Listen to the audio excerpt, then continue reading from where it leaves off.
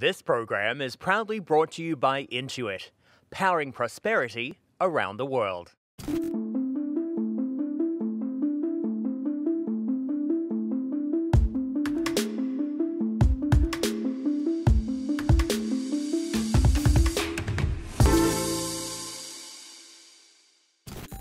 As we sit in the early innings of the AI revolution, it's clear artificial intelligence is and will continue to transform our daily lives. But its success depends greatly on the fuel behind it. In other words, the data. AI learns by deciphering patterns from large sets of data, making it one of the hottest commodities around. But there are challenges and limitations. Good data can be hard to come by, and as AI begins to touch all parts of business and industry, concerns over privacy and ethics are becoming part of the global conversation. Hello and welcome. On this episode, we'll take a deep dive into data and explore why improving algorithms and datasets will set Canada's AI industry apart. To get started, I'm joined by Charles Eagan, Chief Technology Officer at BlackBerry. Charles, how is BlackBerry honing algorithms and datasets to improve AI? The cyber threat is really amplifying as more things become connected. There's fewer and fewer cyber professionals that are out there to deal with these uh, onslaught of cyber threats that are increasing. And AI and ML is, is really needed to leapfrog and give us solutions to have any hope of keeping up with the threats. So, so we really think that getting getting good good data sets for applying machine learning and artificial intelligence to give us the security edge that we need is absolutely vital. BlackBerry's mission to reinvent itself is well known. You've mentioned some examples of how you're using artificial intelligence. What are some of the hurdles and key challenges you face in using the technology? Well, it's some of the, the traditional ones, and we really are focusing on the security aspect of AI and ML. It's such a big space with natural language and and other types of you know more higher higher level functions. But you know the challenge is is getting getting the right data sets trained and and you know there's for example we could have millions of features on a file. How do we do the feature reduction to really be able to accurately determine to a 99.9% uh, degree of accuracy that this is malicious or this is okay and then how do you deal with false positives and false negatives uh, you know making sure the data is and the model are working to the level where they need to to be deployed in the wild i think is something that we're we're always focused on honing and improving that. CEO John Chen has said BlackBerry intends to be the world's largest and most trusted AI cybersecurity company. So, what are you doing specifically to achieve this goal? We're really focused on creating a uh, I call it a six walled safe. You can have a very good security solution to protect one particular attack vector. We, we've created sort of a platform that allows you to create cover all the sides of the threats. And, and you know that includes the connected automobile moving forward. You know, we're also trying to make it so you don't need a PhD in cybersecurity to use our solutions. You've probably heard of zero trust networks where you you assign trust for a period of time and then you take it away so you don't leave vulnerabilities. We also have something we call zero touch. We want it to be easy and natural to use because humans will find a way around things if given an obstacle. So we're really focused on that, but we're really focused on the platform and highly effective models to protect people. BlackBerry's QNX has become the standard for car operating systems. So how are you using AI in vehicles? This is an exciting new area because the car is really becoming a mobile server over the next five years. So a lot of the techniques that we've deployed in our networks we can apply in the car. So BlackBerry Ivy is something that is that is new, which is the ability to apply AI and ML on the edge of the in the car itself so that you can apply the insights locally and you don't have to count on everything going to the cloud.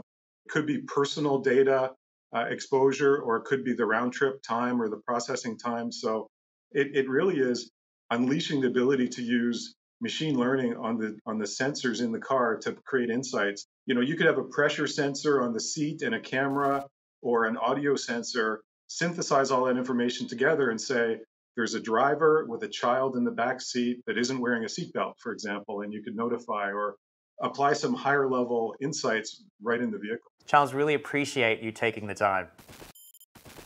D2L, previously known as Desire to Learn, was founded in 1999 by engineering student John Baker. Fast forward 22 years, and D2L is transforming education all over the world. From kindergarten to higher education, healthcare, government, and the corporate sector, the company leverages AI and machine learning to help get the best outcomes for its students. Baker says in order to achieve the best results, the best data is key. Get the right data that informs the applying the right machine learning uh, algorithms, if you will, to, to, to solve the challenges that you're you're facing. In our case, you know, we're, we're trying to leverage uh, these types of AI models at, at cloud scale. So being able to pull in the machine learning that might be built by Amazon or Google or others and apply that to the data that we have. So a great example would be use machine learning to close caption videos automatically so that, you know, no matter uh, what language, up to 14 different languages, we, we caption, put that captioning attached to the video automatically into the system so that someone doesn't have to do that themselves. That's a great example of machine learning saving saving time, if you will, for folks using the platform. By honing algorithms and improving data sets, the company has been able to make sure students don't fall behind as a result of the COVID 19 pandemic. As you can imagine, during COVID 19, there's been a lot of learning loss where millions of students have been out of school. Uh, and it's an opportunity for us to use this technology now to catch them back up, get them on the right track for success. Because you know the alternative is that they get you know left behind, they fail a grade or they don't progress. Uh, and we want to be able to leverage this technology now to help millions of people do better with their lives, achieve their dreams.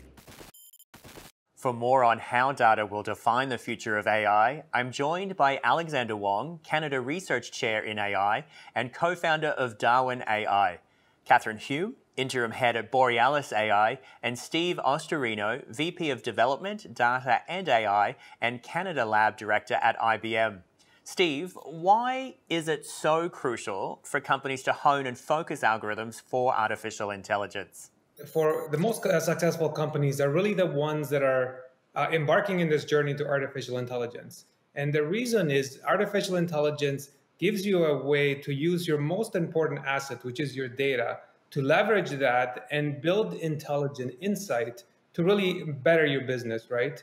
the way artificial intelligence uh, works, it really uses your data that you have, your historical data, feeds that into mathematical algorithms, and then allows you to make predictions so that you can actually eh, kind of predict the future of what's going to happen. So it's very important for us to keep focusing on that and being able to drive more insight, more intelligence, and, and better ourselves in the industry for ourselves and for our, our customers. So essentially, Kathryn, it all comes down to the data.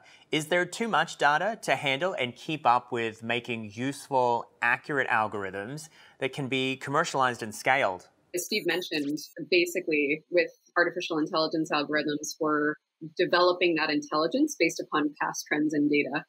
And to a certain extent, you can say we could never have too much data because the more data that we feed into an algorithm, the more patterns and intelligence that we can pick up, and therefore the smarter the algorithm could become. So, one example is if we think about the internet and even all of the pictures of cats on the internet, algorithms are really great at saying this is a cat and not a dog because they've seen so many pictures of both cats and dogs and they can recognize the difference. On the flip side, um, not all data actually leads to intelligence. So we have to be really careful in designing the algorithms so that they're actually picking up the signal and not getting lost in the noise. Alex, there are a lot of concerns about personal data and privacy. Will new regulations to protect privacy limit the scope of what can be done with data for AI purposes? And while new regulations to protect like privacy with uh, will indeed limit the potential scope of what can be done with AI uh, for AI purposes, it's very important to remember that this is done in a very good way, and that will, at the end of the day, really improve the competitiveness and lead to a wider use and uh, application of AI.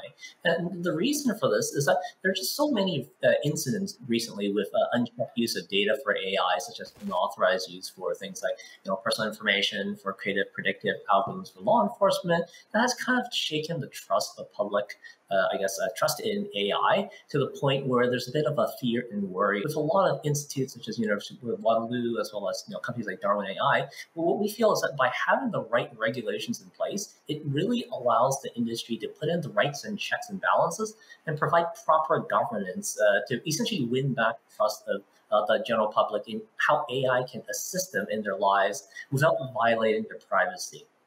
Steve, Ontario recently revealed a digital strategy with plans to launch a new data authority. What does that mean for AI companies in Ontario?